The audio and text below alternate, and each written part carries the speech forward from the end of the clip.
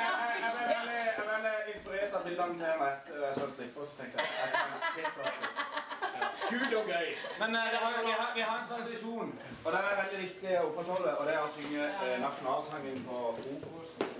Enten om det er hos Boggy, eller det er hos eh, Teresa, eller i, år Stian og Daniel. Så applaus til dem.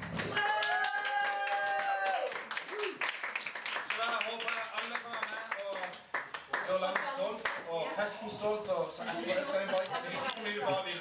Da sier vi bare Alle reiser seg, holder seg.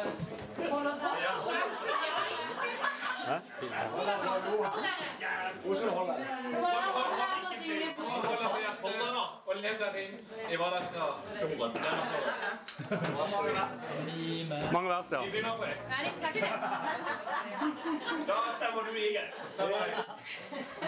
En, to, tre. Ja, vi elsker dette